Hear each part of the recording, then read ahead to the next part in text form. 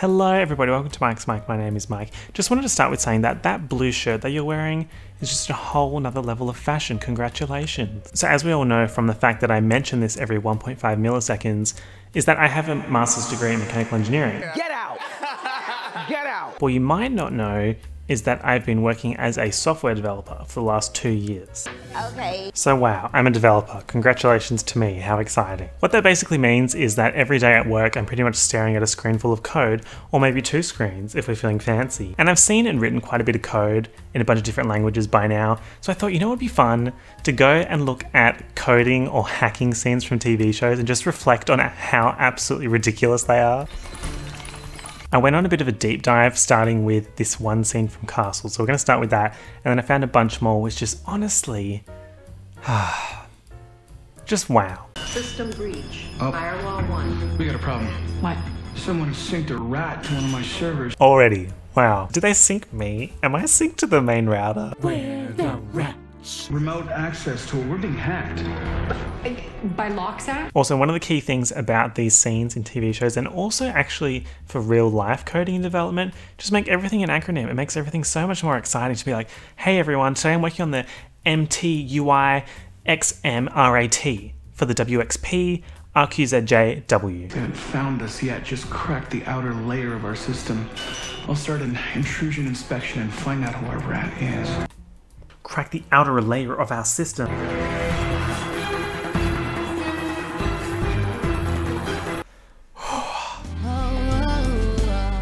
the spinning cubes. Why are they cubes? Why are they spinning? What does that mean? Oh my god. Why I need to watch it again.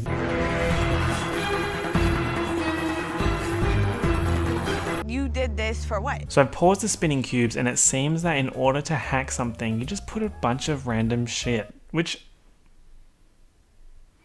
that's how I debug my code usually, to be honest. That's so upsetting. If they don't find the rat, then clearly the cubes just weren't spinning fast enough. Uh-oh.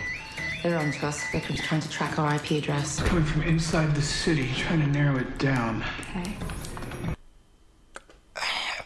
What is that? I gotta say though, do love the interface because the type of development work that I do is making this kind of stuff what the user sees, and it's one thing to have all this whack technology to hack stuff and prevent hacks, but then who's making the UI for this? Who's going, okay, here we're gonna put three miles in a black box with some disgusting white, like transparent circle behind it that looks like a little bit piss colored.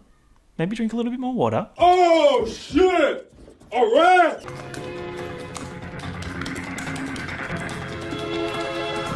Look, all I'm going to say about that is Sis is typing a lot of G's and V's. Hello, computer. Do the counter strike, please. That barely slowed him down. I'm sorry, but he's going to find us in less than a minute. Should we abort? No, we, we've only got two of the blinky boxes left to go. Why do they all have the spinning dice? Just hack, hack. Maybe the reason why I haven't been promoted to manager yet is because I'm not using the spinning dice. She's almost in. I could launch a cyber nuke, but it'll completely fry his system. Ow. Well, well, well, what do we have here? I have to do this decision daily. Am I going to press the red launch button with white arrow with rocket on top of it juxtaposed over the screen with some shitty clip art? Maybe. Is that a go for launch? Yes.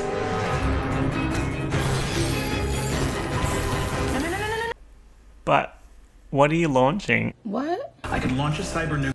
Um, child. Anyway, so Next, we have a clip from NCIS. I'm getting hacked. A port scan? No, no, this is major. They've already burned through the NCIS public firewall. They burned through the firewall, and now all my windows are just popping up everywhere. Because that's how hacking works. If you hack someone's computer, all their windows just pow, pow, pow. Window shopping during Christmas. We'll isolate the node and dump them on the other side of the router. I'm not even. I'm trying. It's moving too fast. Oh, this is not good. We're using our connection to the APHIS database. Sever it. I can't. I'm twitching. What do I say about this? What is there that I could possibly say about this? Let's just get two people on the same keyboard, which means double the pace of the hack clearly. NCIS writing team said, I don't know what your problem is. It's more efficient. Two people on the one keyboard. Lower costs, because you need to get more equipment. and then also double the speed. Hello. It's a point attack. He or she is only going after my machine. It's not possible. This DoD level 9 encryption. It would take months. No. I know Mr. Sir's got his hands on that control shift caps tab just banging away. Meanwhile, back at the ranch, she's like, oh, delete insert F12 print screen. Ah, where'd he go, Abby? I anything. I thought you did. No. I did. Thank you, old man, for saving the day. Next, we have another one from NCIS. The laptop isolates the SD card, and the cage isolates the laptop from the rest of our network. Wait a damn minute. Whenever I hear the word isolate, it just triggers my fight or flight response. What's happening? What the firewall? It ate right through it, and then it bypassed the cage through the power cord. I love to keep from crying. Jesse J just got hacked through the power cable. This next one is from Criminal Minds, and it just really made me angry.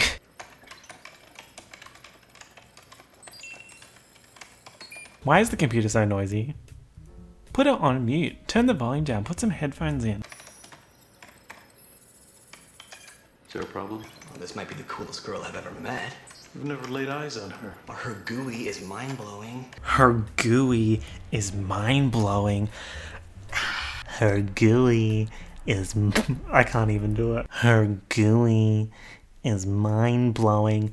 Shut up. Riddle me this, Hollywood.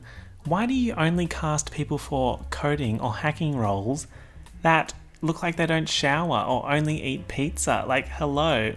Where's my representation? So basically, they're having a little code battle on the same computer screen. I do not have time for this.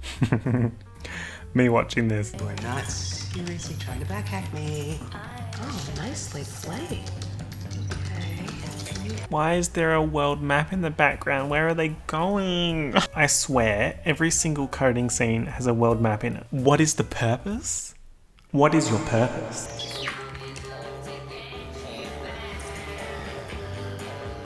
Oh boy. Have fun getting out of the wormhole. Maybe I'll just start screaming.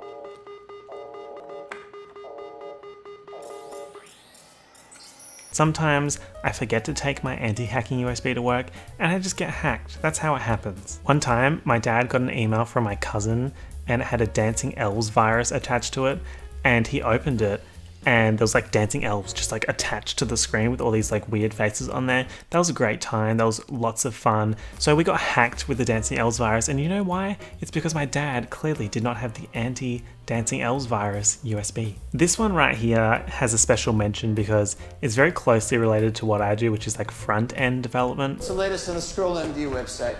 HTML injection. Check it out. Someone hacked a curtain ad on the Scroll MD site. Looks like a normal ad, right? And this is the code for the ad. But peekaboo, there's actually two codes written right on top of each other. A clickbaiting scheme. Right. Like What? Yes, that is how clickbait works. That's like when Jake Paul puts up a clickbait title, that's one area of code, and then the real title's hidden behind that. Code AB. So I figured I'd end with showing you a fun little hack you can do yourself when you're feeling a little bit bored. So here we have the tab that I had open for watching one of Cody Ko's videos. Fantastic TikTok POVs. Yeah, great, fantastic. We love to see it. Right click, inspect. Then this opens this nice little DevTools panel. And what we're going to do is we're going to select the title, which says TikTok POVs, or it did. And we're going to change it to this. The real message here that Cody's trying to get across is that you do, in fact, need to be subscribing to Mike's Mic. So thank you very much for that, Cody. I really appreciate it. Golden hour, am I right, ladies? That brings me to the end of this video. If you enjoyed it, feel free to leave a like. If you got something to say, leave a comment. If you know,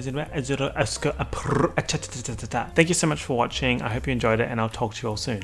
Peace out. Bye. It's Christmas. Let's go home. And also fly into the sunset, maybe? Welcome to the end screen. Here you will find another video for you to watch and a link to easily subscribe to my channel. So make sure you subscribe to my channel. Hmm. There's a greyhound that my dog absolutely despises. And it just walked past.